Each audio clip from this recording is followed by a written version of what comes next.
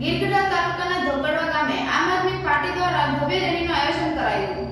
ગીરગઢડા તાલુકાના ધોકડવા ગામે આમ આદમી પાર્ટીના ધોકડવા સીટના ઉમેદવાર હરેશભાઈ બલદાણિયા અને દિલ્હી કસ્તુરબા નગરના એમએલએ મદનલાલની આગેવાની હેઠળ રેલી યોજવામાં આવી હતી, જેમાં તાલુકા પંચાયત અને જિલ્લા પંચાયતના આપના ઉમેદવારો અને બોડી સંખ્યામાં કાર્યકરો હાજર રહ્યા હતા અને ધોકડવા ગામમાં રેલી કાઢી હતી અને આપની લોકપ્રિયતાની તાકાત બતાવી હતી. રેલીમાં યુવા કાર્યકરો અને જનમેદની જોઈને ભાજપમાં ચિંતાનું મોજું રિપોર્ટર વિશાલ ચૌહાણ ગીર ગઢડા का परिचय मेरा नाम मदन लाल है और मैं कस्तूरबा नगर दिल्ली विधानसभा से सदस्य हूं और यहाँ पार्टी के विस्तार और प्रचार के लिए मैं गुजरात में आया हुआ हूं आज हमने धोकड़ा धोकड़ धोकड़वा। धोकड़वा। आज हमने धोकड़वा गाँव में पदयात्रा की है। हमारे सारे कैंडिडेट हमारे साथ थे जिला पंचायत के और तालुका पंचायत के।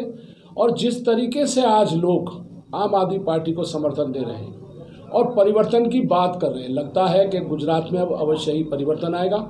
और लोगों ने मन बना लिया है बीजेपी और कांग्रेस को यहाँ से जड़ से उखाड़ फेंकने का। इसके कई कारण हैं। सबसे बड़ा कारण तो ये है कि सरकार चाहे कितने ही वायदे करते हो कि वो विकास कर रहे हैं, गुजरात मॉडल है, पर अगर आप यहाँ देखें तो न गाँव में कोई सफ़ाई की व्यवस्था है, न सड़क की। जगह जगह पानी भरे हुए हैं, नाली की व्यवस्था नहीं है, लोगों का जीवन स्तर बहुत ही ज़्यादा दयनीय है। ऐसी हालत में जब हम इसे दिल्ली से कंपेयर करते हैं, क्योंकि हम चाहते हैं कि दिल्ली में जो मॉडल केजरीवाल जी लाए हैं, हम उसी मुद्दे पर यहाँ इलेक्शन लड़ रहे हैं और अगर लोगों ने हमें जिताया, जो हमें पूरी उम्मीद है आज की रैली देखकर, खासकर कि लोगों ने बड़ा उत्साह बताया, दिखाया है और लोगों ने भरोसा जताया है आम आदमी पार्टी पे और सबने विश्वास दे के ये कहा है कि वो आने वाले समय में बीजेपी और कांग्रेस को बिल्कुल नकार देंगे और केवल आम आदमी पार्टी को वोट देंगे। हमें उम्मीद है आम आदमी पार्टी आएगी। हमारे सारे नौजवान साथी, सारे हमारे बहन, ये सब लोग विकास के कार्यों के लिए यहाँ काम करेंगे और ईमानदारी से करेंगे जो दिल्ली सरकार दिल्ली में कर रही है। आज दिल्ली मॉडल दुनिया में मशहूर है। चाहे वो शिक्षा का क्षेत्र हो चाहे चिकित्सा का चाहे बिजली का मामला हो दिल्ली में बिजली 200 यूनिट फ्री है पानी मुफ़्त है बीस हज़ार लीटर और उसके बाद भी दिल्ली में ढाई रुपया प्रति यूनिट बिजली का दाम है। जी आपकी सीट यहाँ पे आएगी तो आप किस किस प्रकार के विकास के काम करेंगे? देखिए सबसे ज़्यादा ज़रूरत तो यहाँ सफ़ाई व्यवस्था की है और यहाँ के खराब रोडों की है। इसके बाद यहाँ स्कूल की व्यवस्था करने की ज़रूरत है, यहाँ अस्पताल खोलने की ज़रूरत है, यहाँ बच्चों को सबसे अच्छी शिक्षा मिले, जैसे आज के दिन दिल्ली में मिल रही है, अच्छी सबसे ज़्यादा लोगों को सुविधा मिले चिकित्सा की, जो यहाँ अभी नहीं मिल रही है, और दिल्ली की तर्ज पर यहाँ सब लोग जो बुज़ुर्ग हैं, उनको साठ साल से ऊपर को पेंशन मिले, हमारी महिलाओं को और ज़्यादा सुरक्षा मिले और ज़्यादा सहूलियतें मिले बच्चों के खर्चे खत- खत्म हो और पूरा का पूरा सिस्टम दिल्ली की तरह बदले ये हम चाहते हैं और हमें उम्मीद है कि हम यहाँ जीतेंगे और ये परिवर्तन लाएँगे। जी आपको आज की यात्रा की रैली में धोकड़वा गाँव में से कैसी उम्मीद और कैसा अनुभव हुआ है? देखिए हम पिछले डेढ़ घंटा से यहाँ धोकड़वा गाँव में रैली में हैं।